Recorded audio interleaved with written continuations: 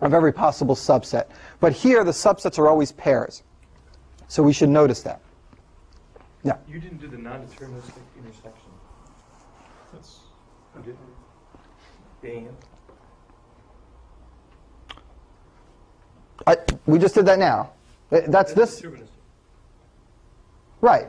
Right. Well, I, we showed that if you have two machines for A and B. This with multiple. Oh, oh, oh. Is there any way to do intersection non-deterministically? Yeah.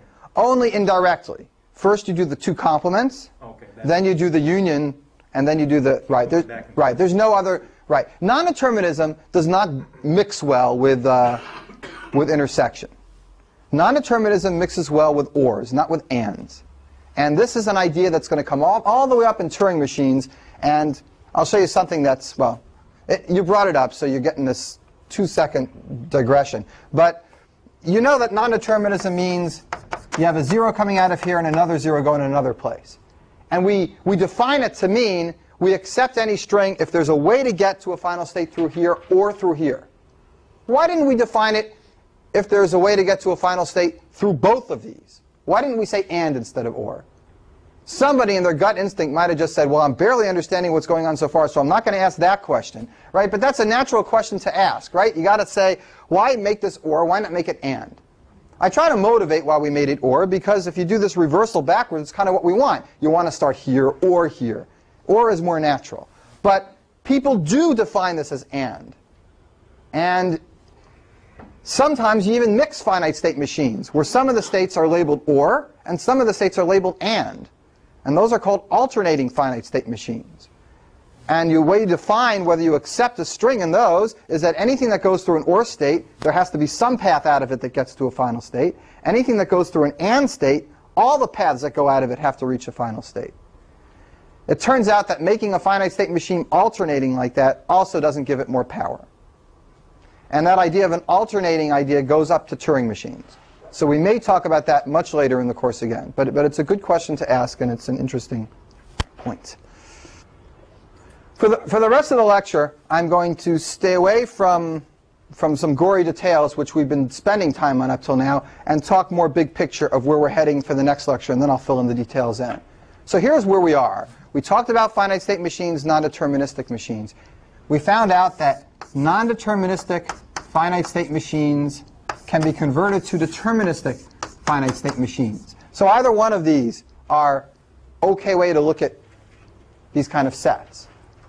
There's going to be a bigger set of connections. We're going to connect this to something called regular expressions, which you've seen in other contexts.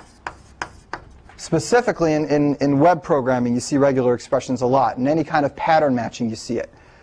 Regular expressions is another way of describing the sets that finite state machines can accept. They're identical to the finite state machines. That's not obvious. But tomorrow, Sunday, I will show you how to convert any deterministic finite state machine to a regular expression. So there'll be a connection between here and here. So this is not yet, but this we've done. And then I'm going to complete the triangle by showing you that any regular expression can be converted to a non-deterministic finite state machine. So these are all three, three different windows to the same picture. And in computer science, you desperately want three different views to the same thing, because depending on the view you have, certain things seem easier. And the more views you have, the more tools you have at your disposal to make important discoveries. So we're going to do this triangle. There's a fourth thing called regular grammars, or sometimes called linear grammars. And these are also equivalent to all these three. And we're going to fit it into the picture by showing an equivalence to deterministic machines. So that will fill in this picture of looking at finite state machines from all the different possible ways. There is no such thing as an analog for regular expressions as we go up the hierarchy. It disappears. But there is such a thing of nondeterminism, and there is a grammar analog. The grammar analog and the machine analog rise all the way up this hierarchy, all the way to Turing machines. And that's what's sometimes called the Chomsky hierarchy. The grammar and the machine parallel all the way up the line. And it's really interesting because grammars and machines don't look alike, but they come in pairs. All right, questions about where we're headed with this? All right. Second big picture. We talked really briefly about what isn't a regular set. Okay, what can't be accepted by a finite state machine. And uh, a lot of different ideas came up. Somebody said Fibonacci numbers in binary. That's true. Not acceptable by a finite state machine. Equal numbers of zeros and ones. Anything that requires counting or arithmetic or more than finite storage, no way to do it. So none of those things can be done. The question is what things can be done? Well, things that you can write regular expressions for can be done.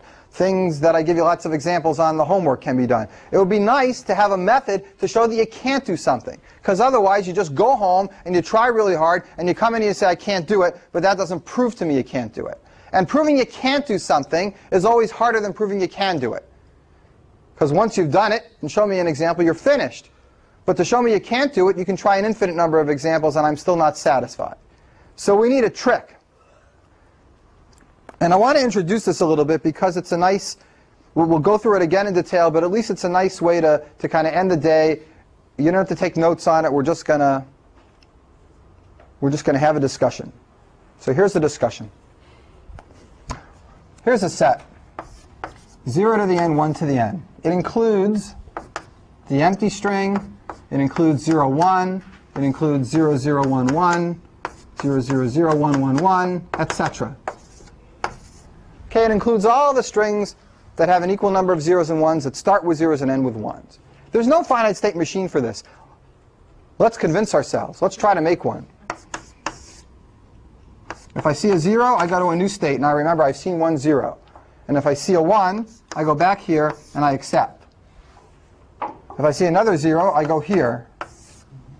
And if I see a 1, I go all the way back?